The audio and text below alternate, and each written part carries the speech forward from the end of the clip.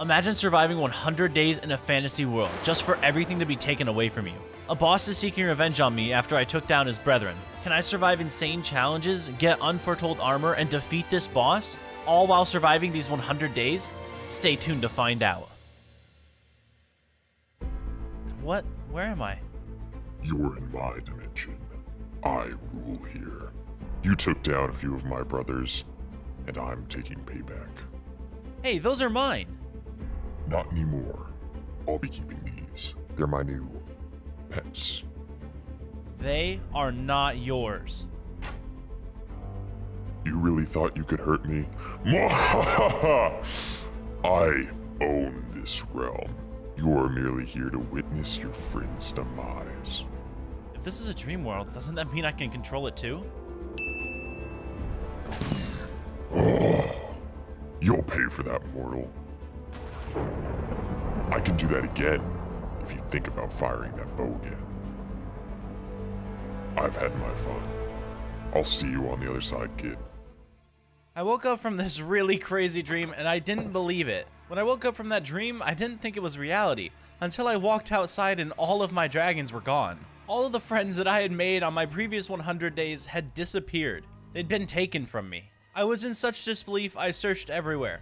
All of the teleports, every dimension, everywhere I could think. At least I still have Perry, right? Yo, Perry, what happened here? Did this Roka guy actually take the dragons? Yeah, he did. I thought I was gonna be next. That guy's really scary, man. I don't know if we'll ever see them again. Of course we will, Perry. I'll find them, I promise. You know who this guy is, right? He's the strongest Abyss Dimension monster. You're gonna have to prepare a lot if you're gonna face him. And Perry was absolutely right. I have so much to do before I can free my dragons. I figured if this guy was so scary, it was time to research the armor I could use against him. I'm currently only rocking Featherite armor, which only gives me the ability to double jump, walk on water and lava, and take reduced fall damage. But while doing this minor research, I realized that only 10% of you guys are actually subscribed to the channel. So if you wouldn't mind turning that big red button gray, I would much appreciate it. You'll be helping me achieve my dream of eventually becoming 10 times more powerful than the Super Bowl. Yeah, we could probably attack a country at this point. Anyhoodle, back to the video. That won't be enough to take out the Roka, so instead I did a quick Google search and figured out that there is an armor set that combines every single upgraded netherite armor into one. However, this looks insanely difficult to craft as I need nether stars for every single piece. And I'm also going to have to get one ingot of every single armor set. As well as I wanted to get each set anyway, so I guess I can go on the journey of getting each set and some extra pieces. Hey, if you think you can get all that armor on your own, you're sadly mistaken. What do you mean alone? Who's supposed to help me? I suggest seeking help from the villagers. If anything, they'll get you the best enchants for your armor. I don't really have the best relationship with villagers. Why would they help me? You're desperate, aren't you? Harry's right once again, so I went ahead and flew off to the nearest village. I found a desert village and talked to one of the guards. Translation, they're gonna need a really nice place to stay, which means I have my work cut out for me. Once I got home, I found a small location I could build a castle for the villagers. Doesn't have to be anything too crazy, just make it seem like they're not in a prison for once. And to do that, I'm gonna need to get a bunch of different materials. First, I headed to a birch forest and harvested the entire thing. After that, it was time for some spruce. You know I'm not to do an entire build without spruce, right? And I finished this trip off with getting some oak, just to balance out the gradient I'm about to use. Then I went out and grabbed cobblestone, not only because I needed the cobbled part, but also because I need stone and stone brick for this build. And I mean a lot of cobblestone. Lastly, I grabbed blackstone from the nether and started getting all of the detail stuff, like trapdoors, stairs, slabs, lanterns, all of that jazz. Hopefully this build satisfies these greedy villagers. And talking about those pesky villagers, I started a merch line. Yes, now you can have your very own Welcomin merch, which includes two different sweatshirts, a shirt, a beanie, a blanket, which is pretty awesome, phone cases, and a mouse pad. All of this can be found either down below on my merch shelf or linked below in the description. Make sure to go get your stuff now because who knows how long this will last. I first started by stacking up a tower, and then I laid down a nice foundation for it so it looked a little bit better than just a 3x3. Then I worked on the castle wall where I was going to have the gate. I needed to get a small understanding of where everything was going to go. Then I was able to craft up some vertical slabs with stone brick and make the entrance look a little bit better. And yes, I did just say vertical slabs. This must be a fantasy world still, because I can't believe this. Then I worked on the walking part of the castle wall, adding in more stairs and vertical slabs to make it look like it was, well, better than it was, because a lot of this was cobblestone still. Continuing the build, I went back to the tower and started working on a foundation for the upstairs part of the tower, or more or less a clock tower area that I'll never use, but make it look cool at least. And once that area was done, I grabbed Blackstone and started working on the roof. I actually have really mixed feelings about the roof. It doesn't look great, but it also is a very interesting design compared to what I've done before. Maybe the villagers will appreciate it a little bit more than I have, since this whole area is for them. Once the tower was done, I moved my attention over to a storage room. Now, yes, this place is for villagers, but I'm going to make a separate area that I can store stuff because my storage system right now is pretty dog. And hopefully I'll dedicate at least one day to moving everything into this place. Once the quote-unquote house or storage room was done, I worked on a tower for the side of it because we are still dealing with a castle here. It looks pretty okay. I don't know how I like this design of towers, but I mean, I needed a different one compared to the one I had just done, so this seemed like the better option. And I did the same design on an interior wall sealing off the castle so the villagers don't escape because they're still my prisoners. I don't care. They are gonna be my prisoners. I can't help it, alright? I hate them. I'm sorry. And to finish off the building aspect of the castle, I added in a house at the top of a stair so I could add in even more villagers. Maybe even make a breeder up here. Hint, hint, I don't because they're my prisoners and I locked them up. Overall, for the time I put into this place and the materials that I was able to use, this thing turned out much better than I expected. I mean, we have a storage room, a really awesome tower, a few areas I can put some villagers, and an awesome aesthetic. Once this place was complete, it was time to go check on the villagers and see if they were ready for the move. Once I got there, there were already some villagers on the coast ready for me. I talked to Barrett and he said that these guys were ready for the move. And once all that was settled, it was time to start boating my villagers home. A day later, I arrived with the last one, and now it was time to get them all organized. I started by bringing in one villager at a time. The first guy gave me Unbreaking 3. Then after that, I moved in another one and another one trying to get Mending from either of them. Eventually, I did get Mending from one of them, and later killed him on accident. Look, I had a lot of misclicks during this. I mean, a, uh, oh, there's another one. Yeah, a lot, okay? Basically, all of these villagers hate my guts because I've clicked on them way too many times, and they probably should not have volunteered to come here, because this is uh, this is probably terrifying for them. And eventually, I was so sick and tired of them not giving me what I wanted. I had one mending guy and one unbreaking 3 guy, and for now, that's all I need. They just wouldn't take a job or do anything I wanted at all, basically, so I figured it wasn't worth it to continue wasting my time on them.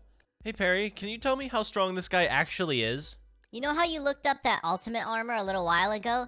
Yeah, you're definitely gonna need that. But that was like my hypothetical dream set. There's almost no way for me to get that in the next 100 days. Well, you just said it. It's your dream set. Where has this guy attacked you the most? If you're gonna beat him at his own game, you're gonna really need this set. Alright, well, if that's how I have to get the dragons back, then I'll do it. But this set is so expensive. Holy. And if I'm gonna get those nether stars, I'm gonna have to get some wither skulls. However, to gather these, instead of flying to a nether fortress and actually fighting wither skeletons, I decided to just fight the skulls that were floating around in this biome. And it turns out it worked because this guy gave me my first skull. Then I found another group of skulls and got my second wither skeleton skull. This process continued until I had four and I left the nether. Once I got back to base, I realized I could actually make witherite ingots, which yes, I do need those to make ultimate armor, but at the same time, I kinda need them to make the witherite set. And I realize I'm really stunting my progress towards the ultimate set by making an actual witherite set and a set for every other ingot, but I really kind of want it because I want to make a super cool armor room, so I'm to go ahead and make a witherite set anyway. However, to do that, I'm going to need a lot more netherite. So I traveled to the nether and decided to fly around to find it instead of actually going mining for it. In my opinion, it's a lot more boring to mine for a netherite than it is to actually just go find it in here because of the amazing structures that are in this mod pack. First up, I found a bastion where I was able to get two netherite ingots. And if you know bastions, then you know netherite ingots are actually super rare, so I'm really glad I found this first. Next was a netherite castle where I was able to get two pieces of ancient debris. And another netherite castle. Then a piglin tower where I was able to get some extra netherite scraps. And let's be honest, this went on for a little while where I was able to go from netherite castle to bastion to piglin tower to find the little shards of netherite that I needed. However, to find the real treasure, uh, no, not pirate treasure, I'm not Blackbeard, I had to find the nether version of an end city. This thing is sweeter than a Hallmark Christmas movie. After days of strenuous hard work flying through the... No, I'm just kidding. I went in a straight line the entire way. But I did end up at an end city. Or a nether city? Nether end city? Never city. Nend. Nend city. There you go. The first chest had basically more netherite than I'd found the entire trip. And the second chest loot pool was bigger than my inheritance, giving me over 7 pieces of netherite. This place had more chests than I expected, and by the third one, I was already up to 14 pieces of netherite. And by the time I made it to the fourth chest, I realized it's very possible for me to make that armory room right away. However, 14 amazing chests is all I'm going to be getting, but I'm fine with that. I'm getting out of here now. I've been in the nether way too long, but honestly, it was totally worth it. Upon arriving home, I had to organize all of my stuff, but I realized I have 21 netherite ingots, 17 scrap, and 40 ancient debris. If you add that up, that's 35 pieces of netherite. I'm definitely going to be able to make a ton of sets with this. And by definitely, I mean right now, so I instantly made the witherite set. This was a worthwhile checkmark in my to-do list. And since I have the largest bucket list known to man, I went ahead and made the golderite armor as well. This one basically allows me free passage in the nether against piglins, but at this point, I'm not going to really be using it. So I went ahead and used all of the extra netherite that I had found across the previous 100 days and used that to upgrade it. Now I'm rocking with 5 of the 8 sets that I need to complete an armory room.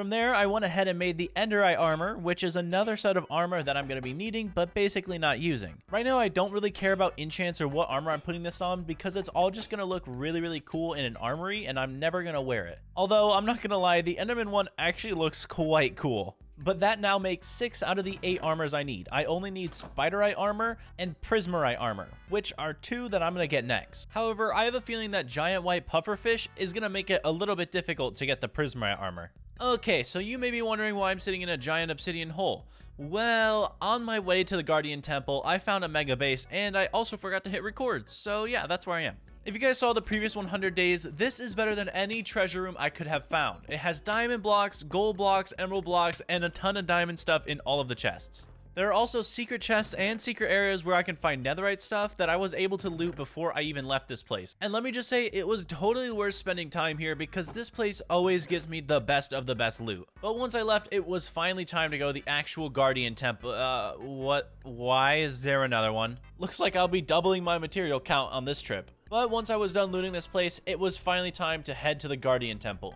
I was itching to get this armory done, and I was never to get there if I didn't get this set of armor. Upon arrival, I mined as many sea lanterns as I could before the giant white pufferfish decided to give me mining fatigue. At that point, I only had 19 prismarine crystals. And I need 40 if I'm to get a full set and 6 extra ingots. So I headed to an island, teleported back to my place, drank a bucket of milk, and went back for the rest of the crystals.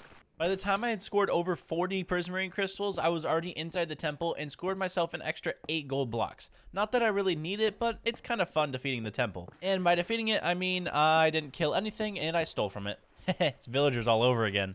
Once home, I organized all of the gear I had gotten from the two mega builds and crafted myself up the Guardian version of the Netherite, aka Prismarite. This means I only have one last armor to craft, Spiderite. Then I will successfully have every single armor that has a special ability. And to get Spider Eye, I flew out to find one of the spider dens that spawn above ground. Once I found one, there were actual spawners in here for cave spiders and regular spiders. And with looting 3, it didn't take me long to get 40 plus spider eyes.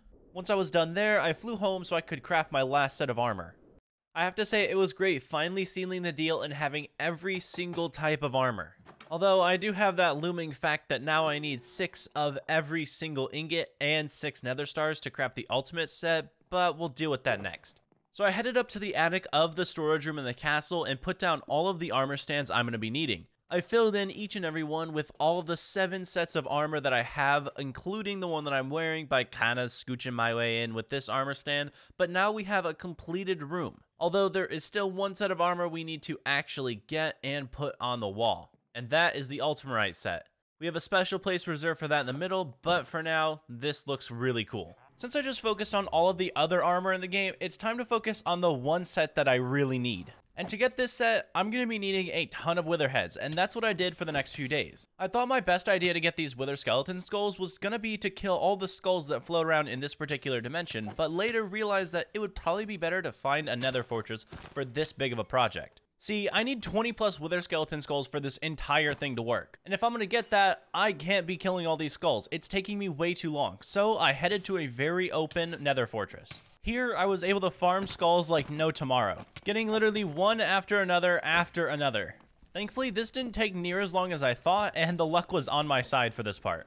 especially when I was able to find piglin areas that had two wither skeleton skulls each. And now that I have everything I need, it's time to head home. I started gearing up for the fight of my life. I'm going to be taking on five separate withers. I don't think I'll be fighting five at once, but I will take on a couple just to see how I handle myself. Once I was fully ready, I went to the end. This is where I would take my stand against the withers. I set up to fight two at once, as I figured that would be a very decent challenge for the start. I've never taken on a wither in this mod pack, because I know that in regular Minecraft they are super easy, even if they're out on the loose, but this one, they could be terrifying. Once I spawned them in, I hoped one of them would hurt the other, but that didn't seem to happen. Instead, I got bombarded by both of them at the same time as well as Enchanted Enderman. I was not expecting the fight that I was in. I got calm and started fighting with my bow, because that's the only way I can really hit them right now. I slowly started beating down on their health more than I expected to, thankfully, but it was still pretty scary. They seemed to be getting beat down pretty hard, and we're almost at that point where I could attack them with a sword. As soon as one got down low enough, I started attacking him with the sword first. I was hoping I could get one clear and then the other. Unfortunately, none of that was working, and I flew out so I could hit the other guy with my arrows. I would rather have both of them on the floor if I could. This fight lasted a lot longer than a regular wither, and my gear was suffering. Although, I killed the first one and it was only a 1v1 now. I had a feeling this guy was going to be easier, so I bowed him down and then started killing him with my sword. The fight didn't last much longer, but honestly, the reason this was so tough was the Enderman that kept attacking me. Thankfully, I now have two out of the five nether stars that I need. Unfortunately, my fight's not over yet, but I decided to make it a little bit easier on myself and bedrock trap these withers. Withers after that were extremely easy, as expected since they literally can't move or leave this area. It was one after another after another, and we had every single one that I needed now. That means I am one step closer to the ultimate set of armor. But that's not enough. My dragons will not settle for enough, okay? I have to get them back, and the only way to do that is to finish this quest and get the rest of this armor. Unfortunately, I'm going to be needing a ton more netherite to complete this recipe. So I headed to the end and started healing my pickaxe because I'm going to be using this to mine for netherite. Now, this is one of the first times I'm going to be mining for it instead of going and looking. I figure my chances of mining are going to be a lot better instead of searching for another end city. I got really lucky then, and I don't think I can get that luck again. Once my pickaxe was fully healed, I grabbed another pickaxe, aka a vein mining pickaxe, that I was able to heal with diamonds and an anvil while in the nether. This was going to be my only hope for finding a ton of netherite. Once I changed dimensions, I started looking for a great place to mine, somewhere where I could wander for hours and hours, knowing that this was going to take forever. I settled on an area far from any lava pool so I wouldn't run into any danger. Then I started my mining process, strip mining of course. It wasn't long before I found my first vein of netherite. However, I was hoping for a lot more than one piece on this first go. The next vein was thankfully three pieces, which means we already had one single ingot. But I'm gonna be needing like 30 single ingots, so this could take a while. I continued the mining process, getting netherite after netherite. I even ran into one of these little goblins and traded up for an extra bit. There was no way I was gonna get this done anytime soon. I'll spare you the details, but once I got over 100 ancient debris, I was ready to get out of there. This was probably one of my biggest accomplishments ever in Minecraft. I have never mined this long getting this much ancient debris. And while exiting the nether and mining up, another goblin actually spawned on me and I had a ton of ancient debris to throw his way. Now, I didn't do the math on how much I just got, but those extra little pieces are going to come in handy forever and ever. The more netherite I can get, the better. I mean, I'm not making a netherite beacon here, but the people who've done that, oh, I feel for you guys. This was a terrifyingly long process, but definitely worth it once I have this armor set in my hands. Returning home, I had over 53 pieces of netherite. That is the most I have ever seen in any of my worlds. That is literally an accomplishment and a half right there. But that's crazy that that's how much I'm going to be needing for this. Although, yet again, we are only one step closer. I still have to go back and gather all of the other materials I need to craft up each individual set of ingots. First up were phantoms, so I headed to the nearest blimp which has phantom spawners on it and started getting as much phantom membrane as I could. I needed 24 in total and that's how much I was able to gather before I left the end. Next, I was back in the lovely spider den that we all know and love, gathering even more spider eyes. Thankfully, this place isn't difficult, and the only thing I really have to worry about is poison. Once I was done there, it was time for feathers, my last and final item. Anything that had wings was a target for my blade. I went around killing doves, seagulls, pretty much anything I could get my hands on because I need a ton of feathers. Thankfully, being in the plains biome, wicked things spawned everywhere and I was able to get a ton really quickly. Then I gathered all of my armor and books to make the perfect set of netherite. I wanted everything to be Prot 4 unbreaking with mending. And now you may think I should have gotten feather falling on this stuff, but I truly don't need it since phantom gear makes it impossible for me to take fall damage. I did have to go quickly grab 20 levels in order to finish out the gear, but that didn't take too long because of this enderman farm. Once I was done with that, I crafted up six of every single ingot. And I have to say, having them all in my inventory looks super, super sick. I cannot wait to have all of this gear. And by couldn't wait, I mean I crafted all of the ingots right now. I have one for my sword, one for my bow, and one for each piece of armor. Time to go show Perry my new accomplishment. Yo, Perry, look what I got. Oh man, that's awesome. What's your plan for it? I have an ingot for every armor piece, my sword, and my bow. Um, don't you remember the last time you fired an arrow at this guy? It didn't go too well? Why don't you consider a crossbow instead? You know what? You're absolutely right, Perry. I don't even know what I was thinking. It's time to build a crossbow. I started by grabbing one that I already had with Unbreaking 3 and Piercing 4. Then I looked through all my books to see what else I had and if anything was useful for a crossbow. Heads up, it was not. And if I was going to get a crossbow up and running, I was going to need some levels from the end. Thankfully, it doesn't take too long because it is an Enderman farm, but I believe in this mod pack, they actually are a little bit slower than regular Minecraft, so, I mean, not too long for you guys is boom. And now I'm back in the base. Now here I crafted my first crossbow ever, by the way. I had to look up this recipe, and enchanted it to see if I could get anything new. I was really hoping for quick charge. Instead, I got multi-shot and unbreaking, which wasn't exactly what I wanted. However, later I was able to combine some things and get the quick charge that I wanted, and now I have a really awesome crossbow. With that all said and done, it was finally time to upgrade my gear to the ultimate gear. I was so stoked for this moment, you have no idea. This is the coolest set I've ever seen in my life. Every single armor piece is another step in a great direction for this 200 days. Heck, upgrading the crossbow made it look so much cooler than it already was, and now I have full ultimate gear. I took off my current set and put on my ultimate set, and now I look amazing. I went up to my armory and put up my feather set, which is something I'm not going to be using anymore, as I now have the best set of armor in the game. Look at all of these armors and then look at me. All of these are combined in one, and I'm wearing it. Okay, Perry, am I ready now? Yes, you are finally ready. Uh, Perry, where am I supposed to go? Oh, right. The abyss is hard to enter. Uh, go on. Right, goldfish brain. You need Lauren, a rare orb from a flower to enter. Good luck with that. Seriously, that's all I get? A rare flower orb? Huh? What? Goldfish brain. Right, got it. So I flew out to go find this mysterious Lauren flower. I have zero clue what this looks like, and I kinda don't want to look it up. I don't know exactly why I don't want to look it up, but the mysterious Perry over here decided not to give me a description, so I'm gonna go break every single flower I see. And I'm not kidding, I, I did that. I flew around biome after biome, every flower that looked different, breaking it and seeing what it was. There was absolutely no way I was missing out on a full inventory of useless flowers. Eventually, I did find the correct flower. This awesomely cool blue glowing flower dropped a Lauren orb, and I have to say, I should have guessed it was this flower. I mean, it looks epic. All right, maybe that's a little bit of overstatement, but like this is like one of those, you know, like superhero ones. Like one of the guys goes to the nuclear power plant and he breaks this flower and dies, but he's not dead and he's got super. You know what? It's it's like that. Anyway, I went ahead and collected a ton, a ton, a ton of Lauren. I have literally no idea what the purpose of this is and how much I'm going to be needing. Perry, again, was very, you know, light on the details, so I figured grabbing a crap ton, way more than I'm probably ever going to need, is good for me. Once I was done, I flew out all the flowers I didn't need, slept, and then headed home. It was a long few days, but it was worth it to grab all the Lauren I needed. Alright, now that we're home... It won't work. What won't work?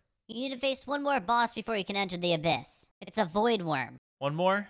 I can do that. With this new mysterious worm target on my mind, I headed to the end to get the first part of my quest done. This one I did look up. Apparently there's a rare mob that's only found in the end that drops something I need to create this worm thing. And since I have no idea what I'm looking for, I kind of just flew around looking for anything. While flying around, I do have to say that the end looks really beautiful. I mean, come on, like, the, all these dimensions are looking so much better than just regular Minecraft. Anyway, side project aside, I'm still looking for this thing and I have no idea where to look. I probably should have figured out where and what biome he's in, but, um, you know what, that's besides the point. Let's kind of fun just strolling around anyway, because I don't really have a huge. I mean, uh, Hmm, I kind of need my dragons back, actually, now that I think. I should have focused. I should have focused up. You know what? That's on me. That's on me.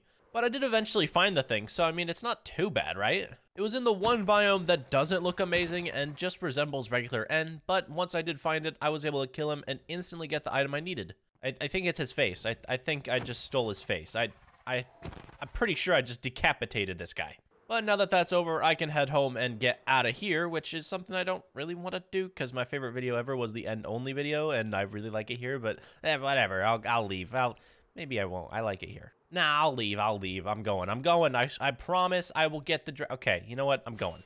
Now that the first part's done, I still have two other items I have to get. First off, I have to kill a Crimson Mosquito and get one of the rarer drops that he drops, and then I have to go find a fly and kill him and get the drop that he drops, combine them, and then put them in the decapitated head. It's a lot to take in, but basically I'm going to the nether. Once I was in here, I started looking for any biome that resembled a crimson forest. Now, this weird mosquito thing can spawn anywhere in the nether, but he normally, or what I'm suspecting, spawns in a crimson area. Since his name is Crimson Mosquito, it's it's put two and two together, you know, that's kind of where I was going with that. Once I arrived, I started scouting the entire area for any mosquito-like creatures. I don't exactly know what I'm looking for, as my research I did was a PNG object, and it's it's not a great image, so I have no idea what I'm looking for, to be honest. While wandering around, the sword actually lit up a giant mosquito, so I found the creature. I killed two of them and didn't get the drop that I needed, so I'd have to find more. Perfect. Eventually, though, while wandering around and getting absolutely blood sucked by these things, one of them did drop what I needed and I was able to head out of the nether. Part 2 of 3 completed, I just have one more object to find and I'm good to go. Then I can fight a giant worm. Why are there so many random bugs I gotta fight? Alright, just one last bug before the worm. One last bug before the worm. I hate bugs, as you can tell. To find this fly, I started fl- well, I flew around. I actually have no idea where they're supposed to spawn, so I kind of just went to open areas to see if I could find one. And I did end up using the minimap because it does highlight names of things that have spawned, so like fly or, or lizard, maybe like a snake, something like that. It'll pop up on the minimap so I don't have to, well, look forever. Eventually, I did stumble upon the fly in the desert, which is probably the weirdest spot for a fly, because I don't... Do they survive out there? I, I know nothing about flies. And the first one I killed gave me the exact item I needed for this mysterious worm. So now all I have to do is go home, craft up this larva thing, put it inside of a decapitated end monster, and then throw it in the void. Yup, good process. Alright, so I just put these two things together, and then I put this inside of here, and... Oh, oh, okay, well that's... Alright, interesting. Well, now I have a very weird wiggly worm, and that's, um, alright. So once I got to the end, I had this wiggly worm in hand, and I tossed it down below into the deep, dark abyss. I have no idea what's about to spawn, but let's just wait. Oh, there, what the heck is that? Okay, I was not expecting this fight. There were literal portals everywhere, and I accidentally walked into one right off the bat and almost fell off the map. That's pretty cool. Then I started flying around and using my crossbow to kill him. Thankfully, with the crossbow, it actually made him almost immovable, and I could just shoot at him over and over again. Thanky Witherite and Spiderite, which gives me poison and wither effect, or it gives this mob poison and wither. It also helps with me killing him a lot easier, but eventually he actually split into multiple void worms, which I wasn't expecting. I was teleporting everywhere, he was teleporting everywhere, and he or she, she, them, multiple. There were so many. Eventually, though, I was able to kill off each and every one of them slowly but surely, and while firing my last arrow, he kind of just died to poison, so I won. That was pretty epic, but I don't know what that accomplished, so I, I guess we'll head home and figure out how to get to the Abyss now. The next step in the process is to craft a translation letter. This thing basically unlocks the Abyss for me, and I needed to defeat the Void Worm to get this. I was also able to claim an Abyss Lighter, which will let me light Unstable Obsidian once I obtain it. So apparently my next goal is to get Unstable Obsidian. Ah, uh, you know how much I'm gonna love mining Obsidian. Wake up, you fool. What's going on? You really thought you could get to me, huh? You thought I would give up? You do have tenacity, but that won't help you defeat me. You won't even get to me, much less get your precious dragons back. Face me now, then! You'll see how ready I am. Foolish child. I'm gonna kill him. Harry, I need to know how to get to him now. I don't think you should. I know they were your friends, but... They were our friends, Perry. I have to get them back. How do I get there? Obsidian, Crying Obsidian, and Lauren. Use that to craft the unstable obsidian you need. Thanks, Perry. With Perry's advice, I grabbed my old vein mining pickaxe and started heading to the nether. I knew there was a biome that was pretty much full of obby and I'd be able to get a ton there. Mining obsidian may not be my favorite pastime, but if it's needed, then I'll do it. However, I didn't really have any specifications about how much I need, so I kind of went a little overboard. I probably had enough way earlier than this, but I decided to stay in here a lot longer and get way, way more. Maybe I craft it wrong. Maybe I need like 16 per. I, I have no idea the recipe, so I may as well just get a lot. And after this, I'm still going to have to get crying obsidian, which piglins are probably not going to give very easily. I had hope for the kindness in the piglins' hearts, but I still grabbed 5 stacks of gold just in case. I headed to the nether and found one of the piglin outposts where there were tons of piglins to be found. I started slowly gathering them all into one hole, first off getting 2 and then leading them in individually until I had a ton trading for me. Then I just let them at it, honestly. I, I turned to Netflix at this point. If you guys haven't seen The Arrow, by the way, watch seasons 1 through 5 and tell me they're not legendary. Uh, don't don't watch 6 or 7. It's it's not worth your time. But since I'm on my 23rd time watching the entire series, I think I might be a little biased.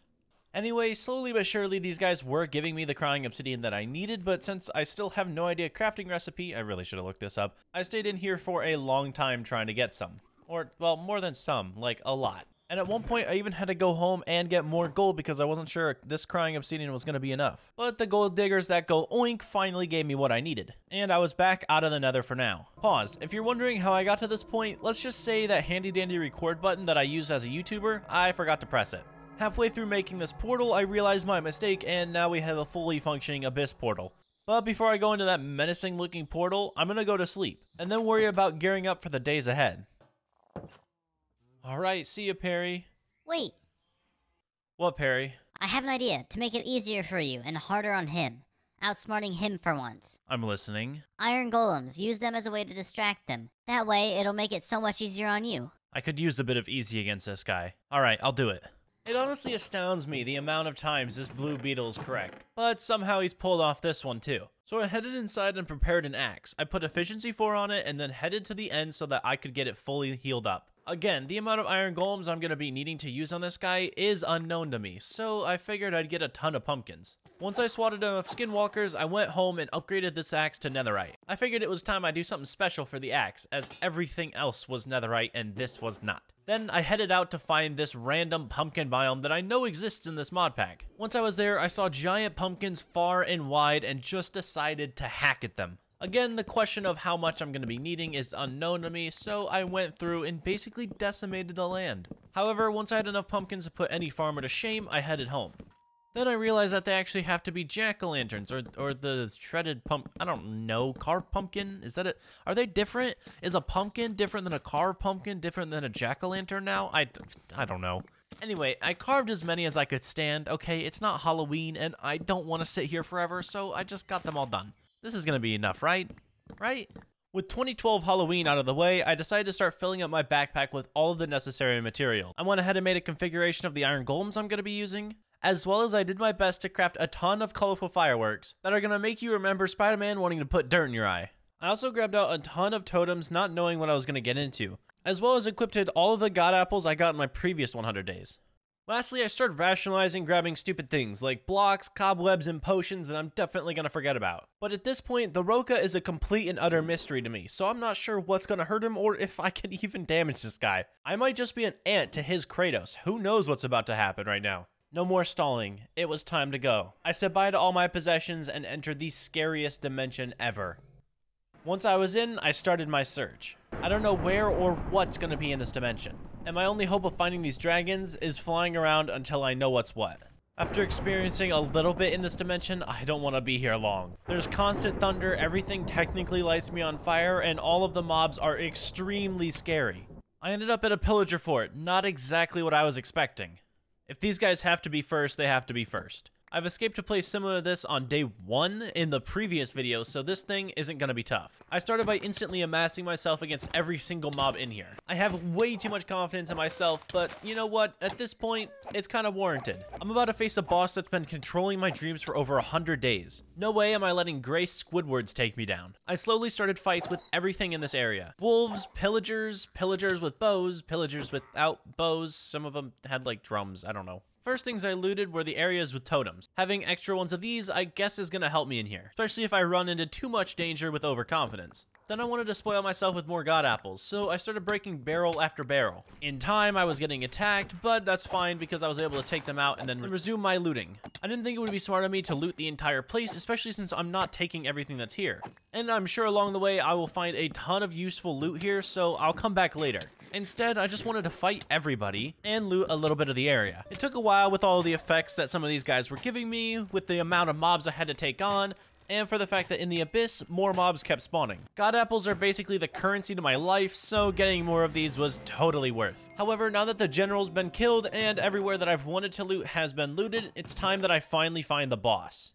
I have to find him. With this guy haunting my thoughts even here, I started flying out to find him. I knew it would take a while and I had no idea where he was, but the travel was worth it. Everything I'd done up until this point were for the dragons and I wasn't going to stop now. Alright, this thunder's really starting to creep me out. Finally, while venturing out, I found him. His name popped up at the top of my screen and it looks like I found his base of operations. You really think this will go your way? For them, I'll die trying. You have heart, but not for long. What? What is this? Get off of me! You thought that would kill me? I hoped it wouldn't. You're mine. With the help of those iron golems, his health was low, but not low enough. The fight began, and let's just say he put up a good one.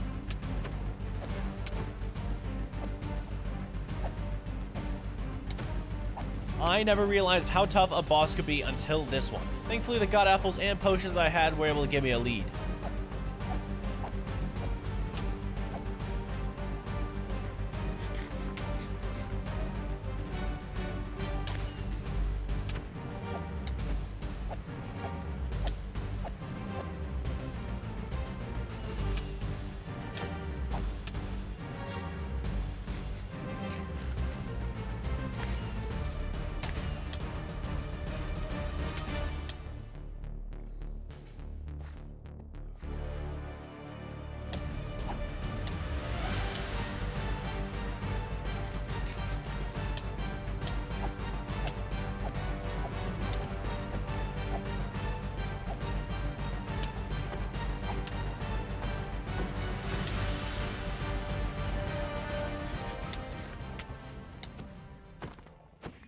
With the last hit, I had killed him. I defeated the beast of my nightmares, and I won. The dragons are finally mine again, and I can go home. With that said, all I can think about is getting these dragons home. I put down one of my waystones, started grabbing dragon by dragon. It was such a relief returning each and every one of them home. I'm gonna be honest, these guys were a sight for sore eyes. And now being able to look over and seeing my dragons again, it's such it's such a relief, guys. And there's one more special thing I have to do. My ghost dragon Morgan may have died at the very beginning of this. I never thought I'd lose another dragon after Spicy version 1. But if it's happened before, it can happen again, and that's why I have another ghost dragon egg. So I placed down Morgan too, and now we just have to wait for her to hatch. However, night's falling, and I think that's gonna have to happen on 300 days. The development of this world has been absolutely crazy. I've been able to defeat one of the strongest bosses ever known, free my dragons from his grasp, and I've taken on a few minor things in these 100 days. Let's just not mention the five withers. And now that we are waking up on day 200, I just want to thank you for making it this far. If you guys did enjoy, make sure to hit that like button down below, as well as subscribe to the channel. With your guys' love and support, 300 days can't be that far behind. So if you want to see my lovely dragons and I back in action, let's hit that like goal. Anyway, I hope you guys have a great rest of your day, and I will see you all in the next video. Peace out.